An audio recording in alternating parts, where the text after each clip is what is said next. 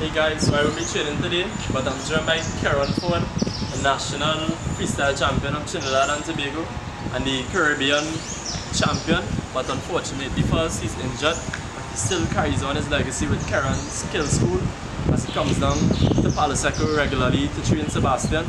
And I'll take you through a session with him and hear what he has to say. All I ever wanted was somebody to hear me. And all I ever wanted was somebody to feel me. And everybody wanna tell me that I'm out of my head when I'm on the mic, that's fine, but that don't scare me. It's been a long time,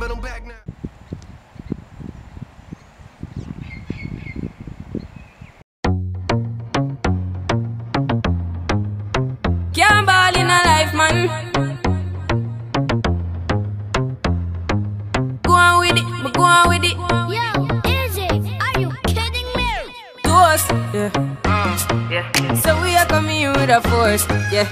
Blessings we are reap and we coursing on full. Oh, we not rise and boast. Yeah, we give thanks like we need it the most. We have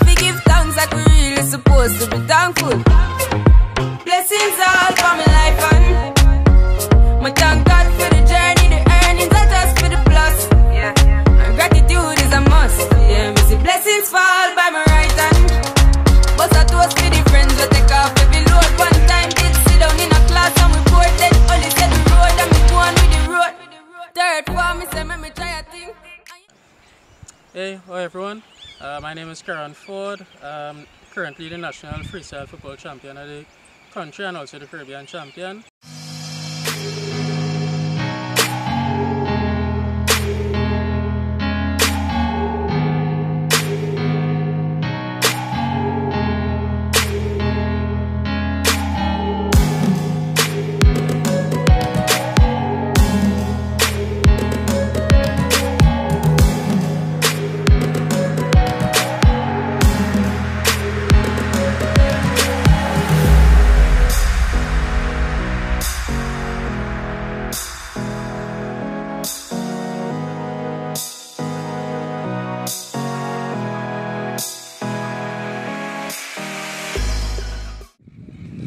Also help with the development of touch, juggling ability, and technical ability as well. So we do this for all ages from um, 8 years up onwards. And also with the school we also help main, we emphasize a lot on juggling which helps a lot. And for the youths is very crucial for the development of all these aspects at an early age. So it this helps with the muscle memory and the building and everything. The earlier you learn everything I will emphasize all the time the earlier you can learn the better it is in the long run. It's always harder to break a habit than to create a habit. Once you have a habit deep embedded deep in you. So once you have good technique down from early good posture everything good from as soon as possible i always emphasize on this so much like the earlier you could do something the better it is.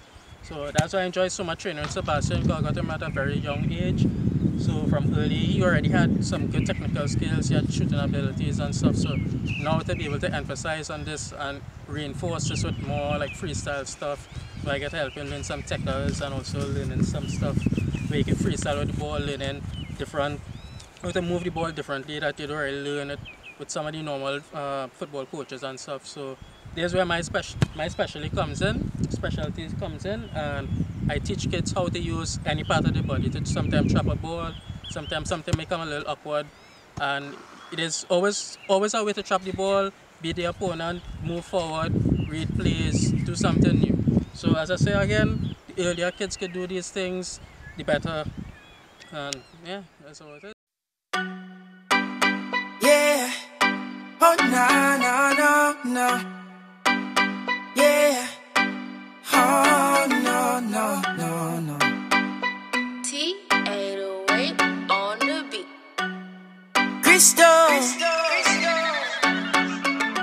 Put the guns them down. A lot of youths keep falling. Six feet in the ground. Another mother keep balling. Eh, eh, eh. She keep balling. A lot of youth men dying in the streets right now. Some die by knife and some a die Alright, so you just seen Sebastian's session and you feel what Kerron has to say about developing your technical skills and juggling at a young age, the younger the better.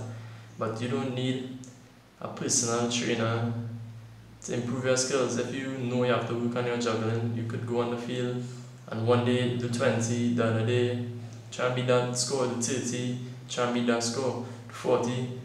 I still work on my juggling as well. Like every day I'll do like a thousand juggles a hundred on each foot, different heights and variation. You'll see that soon in an upcoming video. But if you have a personal trainer, that's all well and good, but you could still improve it by yourself. You don't need any assistance from anybody, but it's always better to have a partner with you to improve your skills.